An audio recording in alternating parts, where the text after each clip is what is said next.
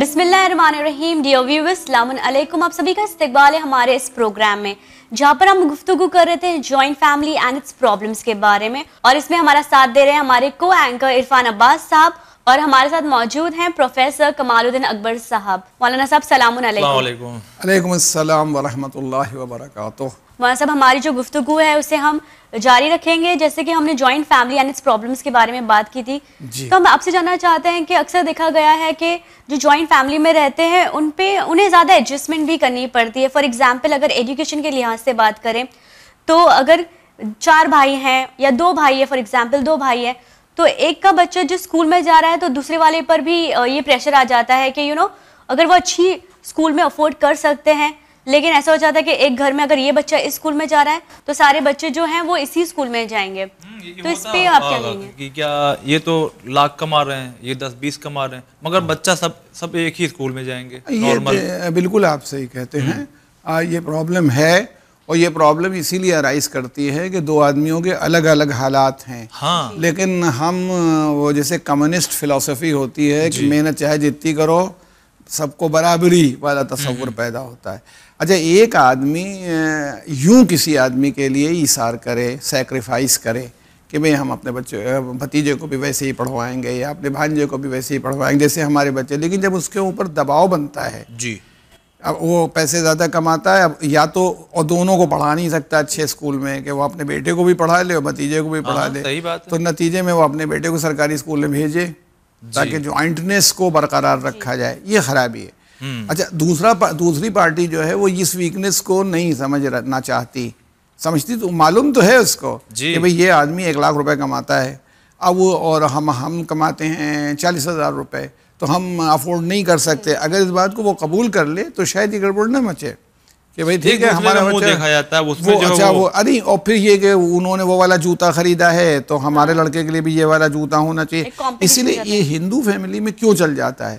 وہاں سارا پاور جو ہے وہ ہاتھ میں ہوتا ہے کرتا کے۔ مکھیا کے ہاں۔ وہ جو وہ مکھیا ہوتا ہے خاندان کا اسے کرتا کہتے ہیں اس کے ہاتھ میں۔ وہ چیز تو وہ نیچرل ہے کہ وہ سب کو دیکھ کے چلے گا۔ کیا کرو تمہاری کچھ آمدنی ہو کچھ پوزیشن اور اسی لیے ان کے جوائنٹ فیملی ٹوٹ رہی ہے۔ جی۔ کہ بھائی نیچرل ہے کہ جس جو آدمی شہر میں ہم ایسے بہت سے لوگوں کو جانتے ہیں جو ہمارے شاگرد ہیں ہم- ہمارے استاد رہے ہیں ہمارے کلیگ ہیں۔ وہ سب ہم ان لوگوں کو جانتے ہیں کہ وہ یہ مجبور ہیں۔ ابھی گاؤں میں ان کی کھیتی ہوتی تھی۔ اب۔ سبھی لوگ کھیتی کرتے تھے تو اپنا سب لوگ شریک تھے سب کا ایک اسٹینڈرڈ آف لیونگ تھا سوشل پوائنٹ آف ویو سے آمدنی ایک تھی کوئی دقت ہی نہیں تھی۔ جی۔ میں میں خود کہتا ہوں میں پرائمری اسکول میں پڑھتا تھا ٹاٹ واٹ بچھا ہوتا تھا جا کے بیٹھے اور سبھی بچے پڑھتے تھے۔ ہاں، پھر جونیئر ہائی اسکول میں آیا پھر مثلاً الہ آباد آیا پڑھنے کے لیے تو ایک کالج تھا جس کی بہت زیادہ فیس بھی نہیں ہوتی تھی۔ آج تو ایسے ایسے کالجز ہیں جو ایک ایک لاکھ روپے ڈونیشن لے لیتے ہیں۔ جی اب ہر آدمی کی بات تو تو وہ حالات ایسے تھے کہ جس میں آپ کی یہ جوائنٹنس چل سکتی تھی کہ سب کا وہی حال ہے۔ سو امیر غریب کی کوئی بات ہی نہیں۔ آج جو جو آدمی الہ آباد میں رہتا ہے اور جو بھائی اس کا گاؤں میں رہتا ہے دونوں کے اسٹینڈرڈ آف لیونگ اپروچ فکر سب میں زمین آسمان کا فرق ہوتا ہے۔ اب یہ ایسے میں اگر دباؤ ڈالا جائے کہ یہ ہم اپنے بچے کو بھیج رہے ہیں اس کو اسی اسکول میں داخل کرا دو جس میں تمہارا بچہ پڑھ رہا ہے اور پیسے ہم ایک نہیں دیں گے۔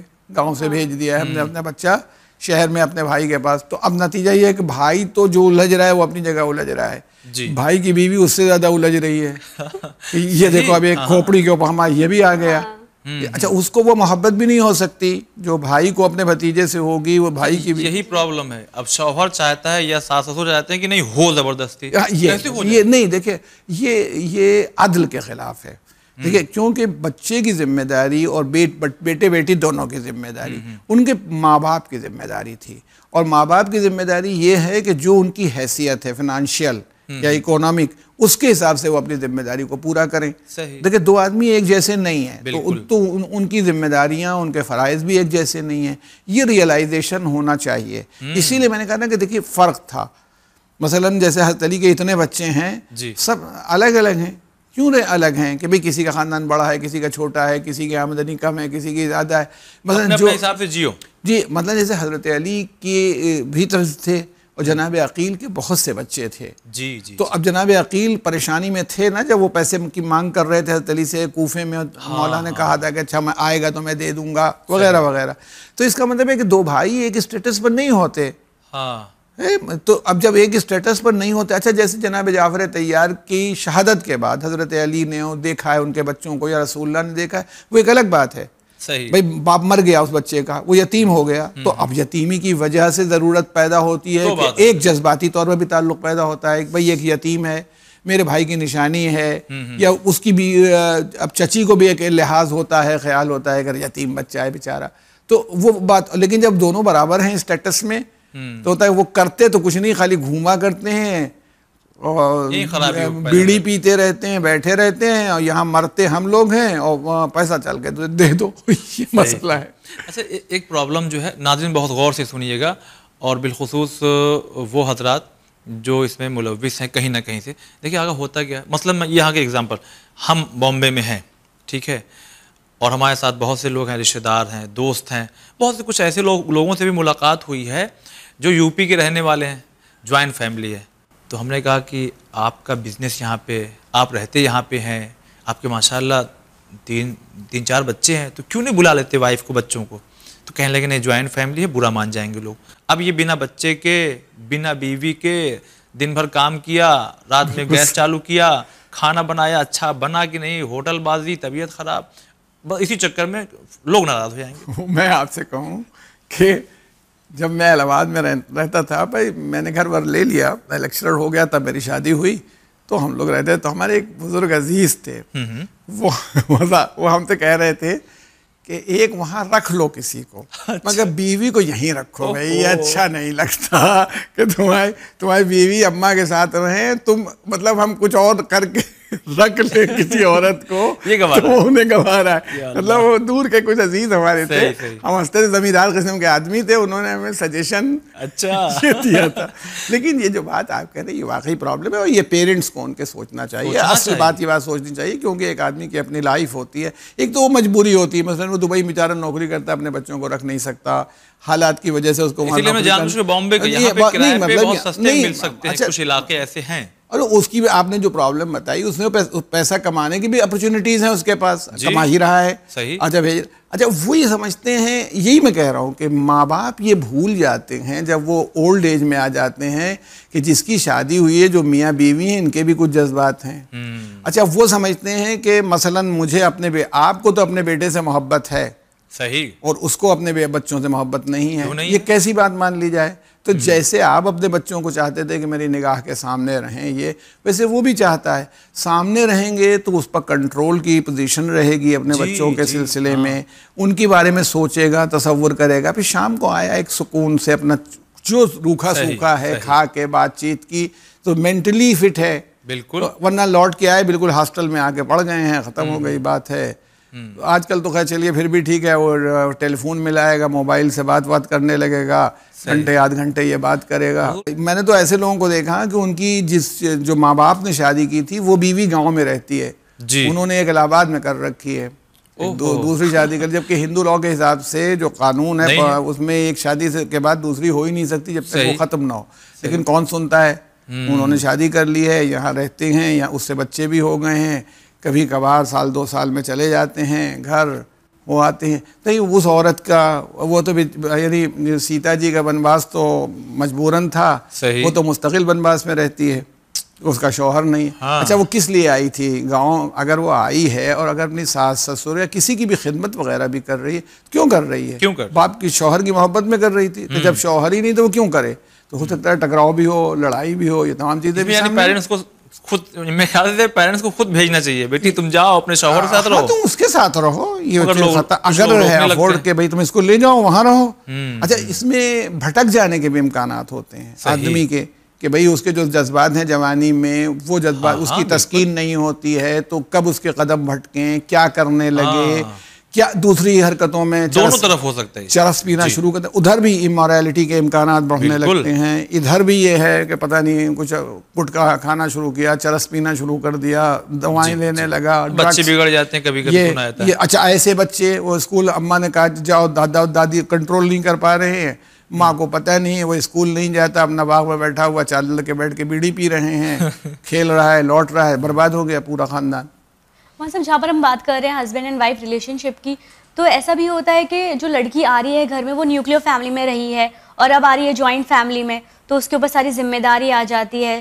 جیسے کہ اگر اس کی بھابھی ہے جیٹھانی ہے ننند بھی ہے گھر میں تو وہ جو نئی بہو آئی ہے اسی سے ایکسپیکٹیشنز ہوتی ہے کہ وہ سارا کام کرے۔ تو اس پہ آ جاتا ہے۔ جی۔ جی۔ ہاں۔ دیکھیے ایک بات اور تو دیکھیں کرتی ہے۔ اسی لیے میں کہہ رہا ہوں کہ دیکھیں پہلا پہلا اسٹیپ تو تھا شادی زبردستی نہیں ہوئی تھی۔ جی۔ شادی ہوئی۔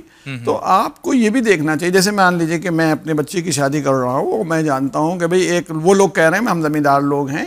ہمارے پاس اتنے سو بیگھا زمین ہے اور یہ ہے ہم فلاں گاؤں میں مثلا فلاں ضلع کے فلاں گاؤں میں رہتے ہیں۔ تو ہمیں سمجھنا چاہیے کہ ہماری لڑکی جو بامبے میں رہی ہے وہ آیا وہاں رہ سکتی ہے کہ نہیں رہ سکتی ہے؟ ہاں خود ہم ہم نے ایڈوائز کیا ہے ایک خاتون کو جن کو شاید آپ جانتی بھی ہوں کہ ان کے شوہر یہ چاہتے تھے کہ وہ گاؤں میں جا کے رہیں۔ جی۔ انہوں نے مجھ سے ایڈوائس لی تھی میں نے کہا تم نہیں تم رشتہ توڑ دو وہاں نہیں جاؤ کیونکہ تمہارے بس کی نہیں ہوگی۔ تو بھائی لائف یہاں کی جو ہے اب تم پوری زندگی تو بمبئی میں گزر گئی۔ جی۔ اب بامبے کے آپ ماحول سے عادی ہو گئی۔ اب ایک گاؤں میں جا کے بھئی کیا وہاں خاص چیز ہے؟ مکھن بہت ہے دودھ مل جائے گا۔ اور یہ ہے اور بالکل تازے پھل ملیں گے۔ اب سوال یہ کہ خالی پیٹ ہی کے لیے تھوڑی آدمی زندہ رہتا ہے۔ جی، اس کی اپنی اپروچ ہوتی ہے فکر ہوتی ہے کیا کرے گا کیسے رہے گا۔ تو الٹا بھی ہوتا ہے۔ الٹا یہ ہے کہ مثال کے طور پر ہم گاؤں کے آدمی تھے اور بمبئی میں بھیج دیے گئے وہ لوکل ٹرین گزر رہی ہے چڑھ نہیں پا رہے ہیں کسی صورت سے۔ یہ- بھی ہاں، بالکل۔ ایڈجسٹمنٹ کرنے میں دیر لگتی ہے۔ لگتی ہے۔ اچھا تو یہ بات جو آپ کہہ رہے ہیں نا کہ اس میں اب وہ آئی ابھی تو اس کو یہاں کا ماحول ہی نہیں سمجھ میں آ رہا ہے کیونکہ اس کے گھر کا یہ ماحول۔ تو اس کی شادی کے وقت اس بات کو دیکھنا چاہیے کہ جس ماحول میں وہ جا رہی ہے جی، آیا وہ۔ فٹ ماحول ہے کہ نہیں ہے؟ اب وہ بہت نیک لوگ ہیں بہت اچھے ہیں بہت قاعدے کے سب صحیح ہیں۔ یہ بھی ٹھیک ہیں کوئی اس میں خرابی نہیں۔ صرف ان کے ماحول میں فرق ہے۔ ہاں۔ اچھا بہت سے لوگ دیکھیے آپ میں کہوں کہ کبھی کبھی اب بالکل وہ کانوینٹ کی پڑھی ہوئی لڑکی ہو یہ ہو بالکل الٹا ماڈرن۔ اب آ گئی کہ پردہ کرو۔ ارے یار تو پردہ کروانا تھا تو پہلے اس کی بات ہو جانی چاہیے تھی کہ وہ لڑکی پردہ نہیں کرتی اس کا ڈیسیشن پہلے ہونا چاہیے تھا پہلے دن سے ٹکراؤ شروع ہو گیا۔ یہ ہوا۔ یہ میں نہیں کہتا کہ پردہ کرنا غلط ہے اچھی۔ بھی ہوتا ہے صاحب کہ چاہتے ہیں کہ لڑکی ویل ایڈوکیٹڈ ہو اور ارننگ بہو چاہتے ہیں۔ لیکن یہ بھی چاہتے ہیں کہ وہ باہر بھی کام کرے اور گھر کا بھی کام کرے۔ ہاں یہ یہ بھی غلط ہوتا ہے۔ بھائی ایک آدمی وہی جیسے یہ میں یوں کہوں کہ بھئی اگر کوئی جوائنٹ فیملی بھی ہے جیسے ہندو فیملی جوائنٹ جو ہوتی تھی اس میں ڈسٹریبیوشن آف لیبر ہوتا تھا اچھا۔ کہ کس کا کیا کام ہوگا۔ بلکہ بعض اوقات یہ ہوتا تھا کہ بھئی آج یہ بہو اس کے کچن اس کے سپرد ہے صبح سے شام تک اس کے پاس رہے گا۔ جی۔ تو لوگ ہیلپ کر دیں گے یا یہ کہ اور جو کام کرنے والی عورت کوئی گاؤں میں ہے وہ کرے گی مدد یہ سب ہوگا۔ لیکن یہ کہ آج کیا تیار ہوگا کھانا کیا بنے گا؟ کیا یہ اس کے کل دوسری بہو کا نمبر ہے۔ کل اس طرح سے یہ ایک سسٹم چلتا ہے۔ تو کہنا یہ ہے کہ اس کو دیکھنا پڑے گا۔ یعنی دونوں طرف سے دیکھنا ہے کہ آیا یہ خالی یہ نہیں کہ بڑے پیسے والے ہیں۔ آیا ہماری جو بچی ہے یہ وہاں جا کر کے فٹ ہوگی؟ صحیح۔ میں ایک ایسی فیملی کو جانتا ہوں۔ جگہ کا نام نہیں لوں گا بہت پہلے ان کی وہ تو مر بھی گئیں بیچاری طلاق ہو گئی ان کی۔ تو وہ ان کو کیا ہوا کہ وہ بڑی فیملی کی تھی وہاں بہت بڑا زمینداروں کے خاندان میں ان کی شادی ہو گئی۔ مگر بڑا ہی انٹیریئر قسم کا گاؤں تھا۔ تو اس میں بتایا گیا یہ کہ صبح کے وقت اب یہ یہاں کی تھی بڑا سا قصبہ تھا۔ اس کی زندگی تھی وہی جیسے آپ لوگوں کی پرابلم میں۔ ہے صبح ان کو ایک لوٹا دے دیا گیا کہ یہ پیچھے گھر کے جو کھیت ہیں جائیے۔ یہاں چلی جاؤ۔ فارغ ہو جائیے ہاں۔ وہ اس کے بعد جو لوٹ کے آئیں تو گئی نہیں۔ مطلب یہ ان کو کبھی یہ عادت نہیں اس طرح کی کہ بھئی جیسے اب ہم آئیں کہ ہمارا ٹوائلٹ کیسا ہونا چاہیے صاف ہونا چاہیے۔ نہ صحیح پہلے وہ مین آپریٹڈ ہوتے تھے۔ جی جی۔ مگر پھر بھی ٹوائلٹ گھر میں ہوتا تھا کہ گھر سے باہر نکلے یا اٹیچ نہ صحیح دور رکھا جاتا تھا مگر اپنے جی۔ کمپاؤنڈ میں ہے۔ اب ایک عورت ہے اس کو اب مستقل ڈر لگ رہا ہے یا وہ واش جب بھی کسی کام کے لیے جانا چاہتی ہے دن میں تو ہر بار وہ پہلے کھیت جائے۔ یا یہ اگرچہ کھیت آپ سے ملا ہوا ہے ہم یہ نہیں کہتے کہ نہیں۔ یہ بھی ایک کیس ہے سامنے کہ گھر ہی میں ہے مگر وہ اچھا کتنے بڑے بڑے گھر بھی کبھی کبھی ہوتے ہیں۔ ہاں۔ بامبے سے باہر ذرا نکلا جائے تو سمجھ میں آتا ہے۔ وہ لاسٹ میں ایک دم ہے۔ اب وہاں وہ پیڑ ہل رہے ہیں ایک ہاں، یہ بھی ہے۔ بہت ڈراؤنا سا ماحول ہوتا ہے۔ دن میں جانا مناسب ہے رات میں تو اور حالت خراب ہو جائے۔ آپ کو یہ سوچنا ہے میری بڑی بیٹی جو ہے اس کی شادی کے سلسلے میں جب ہو رہی بات ہو رہی تھی ایک صاحب آئے جو بیچارے بہت اچھے نیک اور بہت قاعدے کے مرد مومن ان کا بھا ان کا جو چھوٹا بھائی تھا اس کے لیے نسبت لے کے آئے۔ میں نے ان سے کہا کہ ابھی میرا کوئی ارادہ نہیں ہے یہ نہیں چلے گئے۔ اچھا کیا؟ وہ خوش شاید اس وقت دو یا ڈھائی ہزار روپے ان کا بھائی پاتا تھا کسی اسکول میں پڑھاتا تھا۔ دو ڈھائی ہزار روپے جبکہ منیمم اس وقت پتہ نہیں کتنی سیلری لوگ پاتے ہوں گے تیس ہزار چالیس ہزار۔ اب وہ میرے جب میرا جو اسٹینڈرڈ آف لیونگ ہے کہ بھائی میرے پاس وقت گاڑی بھی تھی کار ہے میرے گھر میں اچانک ایک آدھ اے سی لگے ہیں نہیں تو کولر سب کمروں میں لگے ہوں گے اتنا بڑا گھر ہے۔ اب لڑکی کو تو بچپن سے اس کی عادت رہی ہے۔ صحیح۔ اب میں اس کو بھیج دوں۔ تو اب آپ بتائیے کہ وہ ایڈجسٹ کر پائے گی۔ ایسے ہی میری ایک بیٹی کے لیے ایک بہت اچھی فیملی نے جو بہت علماء کی اچھی فیملی تھی۔ خیر میں نے تو صاف کہہ دیا تھا۔ وہ انہوں نے ہمیں علی گڑھ سے کہا کہ میرا بھائی جو ہے دبئی میں کام کرتا ہے۔ جی۔ وہ جو بتایا کہ پانچ ہزار درہم یا چھ ہزار درہم کسی بینک میں ہے۔ میں نے کہا میں آپ کو جواب دوں گا۔ میں وہ اس طرح کے جواب عام طور پر نہیں دیتا کہ استخارہ نہیں آیا والا تو بیوقوف بنانے والی بات۔ میں نے فون کیا دبئی میں اپنے دوستوں کو جی۔ جو میں تو بہت معاملے سے پڑھ چکا تھا کہ بھائی ایسا سامان ان کا تھا یہاں دس ہزار درہم سے کم والا آدمی اپنی بیوی کو نہیں رکھ سکتا۔ حالات ایسے ہیں۔ کہ اگر اس کو تو یہ ہے اس زمانے میں۔ تو وہ چھ ہزار انہوں نے بتایا تو ہم نے ان کو فون کیا ہم نے کہا بھائی ایم ویری سوری کیونکہ ہمارے دوست وہاں کہہ رہے ہیں کہ دس ہزار درہم سے اور میں اس کا قائل نہیں ہوں کہ لڑکی یہاں ہے اور لڑکا وہاں ہے۔ چاہے وہ یہیں رہے کم تنخواہ میں مگر میں اپنے بچی کی شادی۔ ماشاء اللہ وہ لڑکی تو اب اس وقت تو یہیں تھے اب وہ آسٹریلیا میں رہ رہی ہے ایک بات ہم کہیں اکثر لوگ کہتے ہیں تم شادی جو کرنا ہے تم کو گھر والوں سے کرنا کہ شوہر سے کرنا؟ وہ خیال رکھے گا نا چاہے جہاں بھی رکھے۔ یہ اکثر لوگ اس کو پیش کر کے پتہ نہیں کیا چاہتے ہیں۔ یہ بتائیے وہ نہیں کر سکتا۔ ہاں۔ مطلب ہماری ایک کیپیسٹی ہے۔ جیسے میں ہوں میری ایک طاقت ہے آپ کی ایک طاقت ہے۔ جی۔ اس طاقت کے بیانڈ آپ کیسے جائیں گے؟ اسٹریچ کریں گے تو آپ خود نقصان اٹھا جائیں گے۔ وہیں پر یہ بھی کہا جاتا ہے کہ جو لڑکی ہے وہ شادی کے بعد اپنا رسک لے کے آئے گی برکت ہوگی اس کے آنے سے۔ کہا جاتا ہے صحیح کہہ رہی دیکھیے ایسا ہے یہ سب باتیں اپنی جگہ صحیح ہیں لیکن اللہ تعالیٰ نے آدمی کو دو آنکھیں دی ہیں دباغ دیا ہے ہر چیز بند کرنے کی ضرورت نہیں ہے۔ جی۔ اس میں آپ آنکھ کھولیے اور اس کو دیکھیے جو جینوئن بات ہو قبول کرنے والی بات ہے اس کو قبول کریے۔ ہم تو کبھی کبھی لوگوں سے یہ کہتے ہیں کہ اگر آپ کے حساب مجھے جیسے لوگ کہتے ہیں کہ رشتہ سجیسٹ کر دیجیے یا یہ کر دیجیے تو اگر مجھے خود ٹھیک نہیں لگ رہا ہوتا کہ یہ ان کے لیے فٹ نہیں ہے۔ جی جی۔ تو میں نہیں سجیسٹ کرتا کبھی یعنی کہ جو پیرنٹس ہوتے ہیں وہ بہت وائٹل رول پلے کرتے ہیں۔ جیسے کہ precaution is better than cure اگر آپ پریکاشن پہلے ہی لے لیں تو پھر یہ جو جھگڑے ہیں یہ ساری جو اسی لیے تو کہہ رہا ہوں آپ دیکھیے آپ یہ نہیں کر سکتی کہ بالکل ایگزیکٹلی بیس کے جواب میں بیس لے آئیں۔ لیکن بیس انیس اٹھارہ یہ چلے گا۔ کبھی کبھی یہ بھی ہو سکتا ہے کہ لڑکا ہمارے اسٹیٹس سے تھوڑا سا اوپر ہے۔ کبھی یہ بھی ہو سکتا ہے کہ ہمارے اسٹیٹس سے تھوڑا سا نیچے ہے ہے نا؟ یہ ایڈجسٹ ہو جائے گا ابھی۔ لیکن اب جیسے میں نے آپ کو اپنی ایک ایگزامپل میں بتایا تھا کہ ایک آدمی جب مان لیجیے کہ ایوریج آمدنی الہ آباد میں اس وقت اگر تیس پینتیس ہزار روپے ہے وہ ڈھائی ہزار روپے کماتا ہے وہ لڑکی رسک لے کے جائے گی تو یہی کہ میں ہر مہینے اس کا رسک جا کے پہنچا ہوں یعنی یہ ہے رسک۔ تو کیسے ہاؤ ٹو ڈو اٹ اچھا حضور، اس میں ایک پرابلم اور ہے۔ ناظرین، بہت غور سے سنیے گا۔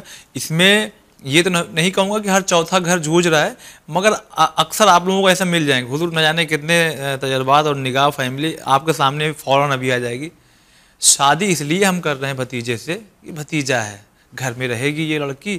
جبکہ بیچارے یہ ہائی اسکول ہے آپ نے ان کو جو ہے وہ بی ایڈ کرا کے رکھا ہے۔ مگر چونکہ وہ بچپنے میں خالہ بیٹھی تھیں اور دادی تھیں تو یہ ہو گیا تھا کہ شادی نہیں سے ہونا ہے۔ اب وہ مر گئی بیچاری ان کی روح کو شانتی کے لیے کروا دو ٹھیکرے کی منگنی ہوتی وہ ٹھیکرے میں پیسے ڈال دیے جاتے ہیں کہ لڑکی ہماری ہو گئی۔ اچھا کبھی کبھی یہ بھی ایک دوسرے کو پسند بھی نہیں کرتے مگر مجبوراً شادی ہو گئی۔ اب وہ پھر اچھی نبھتی نہیں۔ یہ سب بالکل غلط بات ہے۔ اور میں تو سمجھتا ہوں ایسا کام بچپن میں کرنا ہی نہیں چاہیے کہ یہ ہماری ہو یہ تمہاری ہے یہ جذباتی طور پر وہی جیسے بچے بیٹھ کے گڑیا گڈے کا کھیل کھیلتے ہیں تو ان کو مزہ آتا ہے۔ جی جی ویسے بڑھاپے میں بھی بچے ہی بن جاتے ہیں بزرگ۔ تو وہ گڑیا گڈے کا کھیل کھیلنے لگتے ہیں۔ دو آدمیوں کی نہ آپ لائف جانتے ہیں نہ ان کا فیٹ جانتے ہیں نہ ان کا مزاج جانتے ہیں۔ ٹھیک ہے؟ جب وہ شادی کے موقع آئے بھئی حضرت علی علیہ السلام رسول اللہ کے پاس تھے جناب فاطمہ ان کی بیٹی تھی وہیں بچپن ہی میں کر دیتے منگنی منگنی ٹھیکرے والی۔ صحیح۔ تو کوئی جب شادی کا وقت آیا تب انہوں نے ڈیسائیڈ کیا کہ اس کے لیے سوٹیبل میچ کیا ہے۔ موسٹ سوٹیبل میچ بالکل تو تب انہوں نے ڈیسائیڈ کیا تب انہوں نے شادی کی۔ ضروری نہیں کہ گھر ہی میں ہو دیکھ لو بھائی باہر بھی۔ ہاں نہیں مطلب اکثر لوگ کہتے ہیں گھر سے باہر نہ جانے پائے۔ نہیں یہ بھی غلط یہ بھی غلط۔ دوسرے یہ نقصان دہ ہے۔ اگر کوئی آدمی شادی باہر کر سکے جب جیسا کہ ایڈوائز کیا ہے رسول اللہ علیہ وسلم نے کہ دور شادی کرو تمہارے تعلقات بڑھیں گے۔ بھئی پہلے یہ تھا جیسے مان لیجیے کہ مسٹر ایکس نے اپنی خالازات بہن تو شادی کر لی۔ جی۔ تو خالہ ہی ساس ہو گئیں۔ گھر میں ہی رہ گئے۔ خالو سسر ہو گئے۔ یعنی کوئی نیا رشتہ نہیں بنا۔ لیکن انہوں نے اجنبیوں میں شادی کی۔ تو ان کے جتنے رشتے تھے وہ اپنی جگہ ہیں۔ وہاں پر رشتے بڑے۔ اچھا وہاں پھیلنے سے کیا ہوا کہ آپ کا کانٹیکٹ اس علاقے میں ہوا۔ اب ہماری بہن کی شادی نہیں ہو رہی تھی۔ جی۔ انہوں نے کہا ارے یار یہاں تو اچھا لڑکا ہے۔ ان کی بھی فکر یہ ہے کہ ہماری بیٹی وہاں ان کی ہے تو ان کا مسئلہ ہم حل کریں۔ تو یہ تعلقات اس طرح سے پھیلنے لگتے ہیں۔ جی۔ اور اس سے فائدہ ہو جاتا ہے۔ لیکن منع نہیں ہے اگر سوٹیبل ہو اور فرسٹ کزن میں بھی شادی ہونا ہو ہو جائے تو کوئی ایسا منع نہیں ہے۔ لیکن یہ کہ اس کو پکڑ لینا کہ ہم تو باہر کرتے ہی نہیں ہمارے خاندان میں شادی ہوتی ہی نہیں۔ کہہ دیا تھا انہوں نے یا کہہ دیا۔ اگر وہ سوٹیبل ہے تو چلو ٹھیک ہے کوئی بات نہیں۔ لیکن یہ یہ کہنا وہنا بھی ایسا ہی ہوتا ہے کوئی لاجک تھوڑی ہوتی ہے۔ اچھا چلیے ہماری لڑکی ہوئی ایک صاحب نے کہا بھائی یہ ہماری ہے۔ انہوں نے کہہ دیا تھا۔ یار ہم نے تو نہیں کہا ہم اس وقت کیا کہتے؟ ہاں، ہاں، ہم ڈنڈا اٹھا لیتے کہ واپس لو اپنے الفاظ۔ ہاں۔ ان کو ہم کیوں ہمیں یار یہ سب مذاق کی باتیں ہوتی ہیں ہماری بیٹیا ہے۔ اچھا کوئی آیا ہمارا دوست ہی آیا ہماری بیٹی نے سلام کیا آ کر کے پانچویں درجے میں پڑھتی ہے۔ اس کو ہم لے جائیں گے یہ ہماری بیٹی ہے۔ اب یہ ہم اس وقت ہم کیا کہیں گے؟ کیا کہیں گے؟ ہم اس سے لڑیں گے؟ صحیح۔ ہاں بھائی انشاءاللہ دیکھ ختم ہو گئی بات۔ جی جی۔ مولسم جیسے کہ ابھی ہم ایک گھر میں رہ رہے ہیں اور ڈفرینسز بہت ہیں آپس میں۔ اور قطع رحمی کے ساتھ رہ رہے ہیں یعنی کہ ایک گھر یہ والے بھائی اس سے بات نہیں کر رہے اس سے بات نہیں کر رہے لیکن رہ رہے ساتھ میں ہی ہیں تاکہ دنیا کو لگے کہ دیکھو یہ لوگ کتنے یونائٹیڈ ہیں۔ پر اصل میں یہ لوگ سب ڈفرینسز کے ساتھ رہ رہے ہیں۔ تو اس سے بہتر یہ نہیں ہے کہ ہم الگ الگ ہو کے سلے ہاں رحمی کے بالکل ساتھ آپ کا جو سوال ہے اس میں جواب خود ہی پنہا ہے جی۔ اور اس میں دیکھیے جواب یہ ہے کہ آپ دوسروں کے لیے کیوں زندہ رہتے ہیں؟ آپ اپنے لیے زندہ رہیے اپنے لیے۔ دوسری بات آپ لاکھ ظاہر نہ کریں کہ آپ لوگوں میں اختلاف نہیں ہو ہی جائے وہ تو معلوم ہو جائے گا۔ وہ اگر محبت ہوتی ہے تو وہ بھی ظاہر ہو جاتی ہے۔ جی جی۔ ہاں اور اگر عداوت ہوتی ہے تو وہ بھی ظاہر ہو جاتی ہے۔ وہ نہیں ہو سکتی کہ آپ اس کو چھپائے رہیں۔ یہ پاسبل نہیں ہوگا۔ صحیح تو آپ دوسروں کے لیے کیوں پریشان؟ اچھا الگ ہو جائیں تو ممکن ہے کہ کچھ دنوں کے بعد پیچ اپ ہو جائے۔ جی۔ وہ دوری آپ کی جو ہے وہ دور ہو جاتی ہے کہ بھئی جب الگ رہے تو پھر کچھ اچھائیاں بھی یاد آئیں۔ کچھ ان کے اس کا خیال بھی ہوا کچھ لحاظ بھی ہوا۔ کبھی کبھی تو یہ ہوتا ہے کہ میاں بیوی میں جھگڑا ہو جاتا ہے بیوی چلی گئی۔ جی۔ اپنے مائکے چلی گئی لڑکے۔ اور میاں یہاں ہیں تب انہیں احساس ہوا کہ اس سے ہمیں فائدہ کتنا تھا۔ اچھا بھائی یہ سب تو تھی صبح چائے مل جاتی تھی۔